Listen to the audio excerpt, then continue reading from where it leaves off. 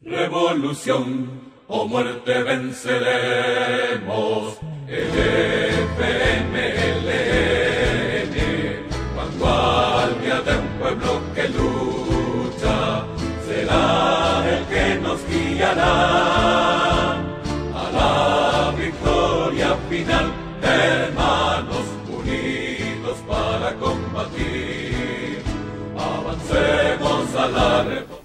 buenas tardes. Ahora vamos a entrevistar a la compañera Cristina Cornejo, que viene desde Salvador. Cristina, bienvenida. Si nos podía decir un poquito de usted. Como no, muchas gracias. Eh, buenas tardes. Cristina Cornejo, soy diputada suplente por el FMLN en el Departamento de la Libertad, pero además soy parte de la Dirección Nacional eh, del FMLN, partido político de izquierda que en estos momentos ostenta la presidencia de la República. Y para los compañeros que no saben de la ah, elección que pasó en 2009, ¿nos puede dar un poquito de ah, información sobre esa elección? Claro que sí, y te voy a hacer un, antecedente. El FMLN es un partido político que surge eh, creado por los, ex- los compañeros que combatieron eh, los 12 años de la guerra civil en contra de un gobierno eh, sin justicia social, en contra de un gobierno con una gran exclusión y marginación. Se crea en eh, precisamente en el 94 y en el 92 y el 94 iniciamos la primera elección en la cual el FMLN se inserta la vida política electoral.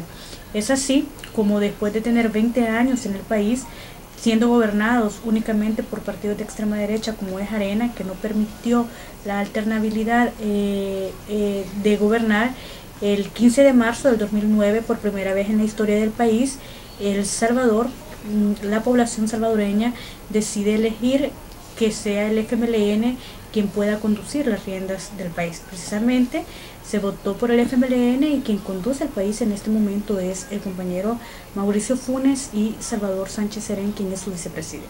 Estas elecciones han sido de trascendental importancia para el país porque por primera vez en El Salvador estamos obteniendo, estamos viendo y estamos beneficiándonos de una forma diferente de gobernar una forma la cual va dirigida hacia las personas que han sido las más excluidas en la historia de El Salvador.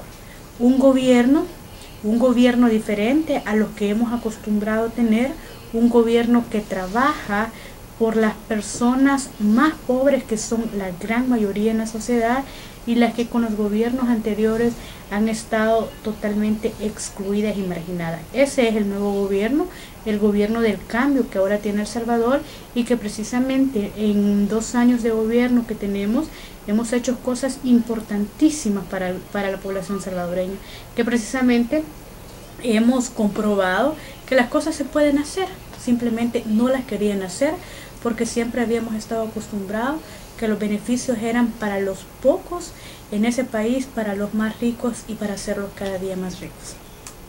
Y conociendo el gran, el gran logro que fue la elección para el pueblo salvadoreño, ¿cuáles son unos ejemplos de, de cambio desde, desde que tomó rienda el gobierno salvadoreño del FMLN a comparación del gobierno de Arena? Te voy a plantear algunos cambios concretos, por ejemplo, el tema del gran cambio que ha habido ah, en, el, en el tema de la educación en nuestro país. Ahora en nuestro país, a 1.386.787 estudiantes de nivel parvularia y educación básica en las 4.965 escuelas del país, en las escuelas públicas del país, se les entrega paquete escolar completamente gratuito. ¿Por qué hicimos eso? Porque había mucho analfabetismo y había muchos niños y niñas que no iban a estudiar porque sus padres no contaban con los recursos para poderlos mandar a tener una educación en nuestro país. El gobierno dijo, si es un problema económico, vamos a garantizar que esos niños y niñas puedan asistir a la escuela. Se les dotó de dos uniformes completamente gratuitos, un par de zapatos y un paquete de útiles escolares. Con esto, con esta apuesta que el gobierno del cambio ha hecho en El Salvador, ha significado que 22 mil nuevos niños y niñas se hayan inscrito para estudiar en el año pasado. O sea que efectivamente estaban siendo excluidos los más pobres de los pobres. Esto es un ejemplo concreto de cómo gobernar para las grandes mayorías del país. Otro de los cambios concretos que hemos tenido en el área de educación es que ahora el gobierno del cambio, ahora el gobierno del presidente Mauricio Funes, el gobierno del FMLN, les da refrigerios escolares a los niños. Los niños pasaban jornadas, ya sea en la mañana o jornadas en las tardes, en los cuales iban a estudiar y por la pobreza que tenemos en nuestro país, los niños a veces no comían y no tenían las energías suficientes para estar en toda la jornada escolar. Ahora se le garantiza que a los niños y las niñas de las escuelas públicas tengan un refrigerio, una alimentación para que puedan aguantar toda la jornada y eso entonces significa que puedan tener eh, mejores condiciones para estar estudiando y concentrarse en eso. Esto también nos ha permitido que la deserción escolar disminuya porque ahora como le generamos las posibilidades para que entren y para que se mantengan, es importante ver cómo al cierre del año tenemos con más niños y más niñas cerrando con una cantidad importantísima. Fíjate que en, el último año en, eh, teníamos que 3.500 niños y niñas más que en los años anteriores terminaron su año escolar. O sea que realmente estamos trabajando porque la gente se prepare y tenga capacidad de poder contribuir al Salvador que tanto lo necesita. Hemos apoyado en el tema de las infraestructuras y, los otros proyectos que tenemos en el tema de educación. Ahora, en cuanto al tema de salud, hemos eh, precisamente hecho un cambio importante. El nuevo gobierno eh, ha hecho una reforma de salud importantísima para el pueblo salvadoreño. Hemos establecido 408 nuevos equipos médicos, con eh, los equipos comunitarios de salud, en donde una de las principales cosas que estamos haciendo y que le estamos apostando es que le llegue la salud a esa población que nunca antes había tenido acceso, a esa población que tenía que caminar de dos a tres horas para poder ir a una unidad de salud y poder ser atendido. Entonces ahora no tenemos un solo puesto de salud, sino que hemos establecido tres, cuatro o seis, o seis ecos en cada uno de los municipios para que las personas de más escasos recursos puedan verse beneficiadas. Y para contarte cómo ha funcionado esto, fíjate que los gobiernos anteriores eh, le apostaban al tema de los de los medicamentos con 35.3 millones de dólares.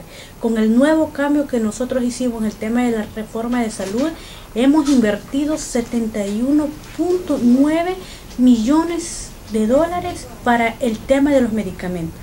Pero por supuesto que eso no es suficiente, pero eso nos garantiza y eso nos confirma a nosotros que ese cambio ha funcionado porque las personas que antes no podían optar ahora hacen uso de esos servicios básicos que el gobierno tiene que garantizarles y que antes no se garantizaban, aún siendo derechos reconocidos por la Constitución.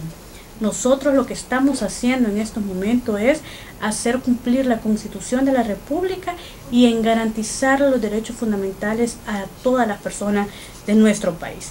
En el tema de salud es importante destacar también cómo hemos finalizado el tema de la construcción de nuevos hospitales, hospitales que estaban en construcción desde hace muchísimos años anteriores, pero que no habían querido precisamente en el tema de terminar su construcción porque no les importaba. En dos años, este nuevo gobierno finalizó cuatro hospitales y en este año tenemos previsto la, la construcción de dos nuevos hospitales, dentro de ellos el hospital de maternidad, que vale decir, es importante que la gente sepa que en los gobiernos anteriores este eh, financiamiento para este hospital estaba y se gastaron el dinero. Entonces, más de 35 millones que se habían dado para la creación del hospital de maternidad que fue robado por los gobiernos de turno anterior. Entonces, iniciamos la construcción de ese nuevo hospital para que pueda beneficiar a las mamás y sobre todo a los recién nacidos.